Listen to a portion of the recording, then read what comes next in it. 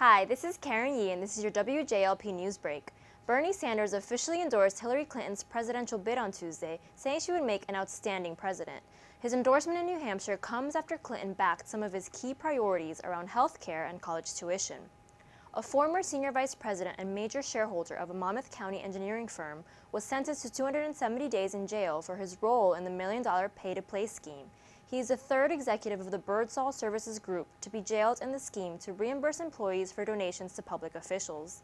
Late Penn State football coach Joe Paterno knew of child sexual abuse allegations against assistant coach Jerry Sandusky back in 1976, long before Sandusky was convicted on charges of child sexual abuse in 2012. For more on these stories, visit app.com.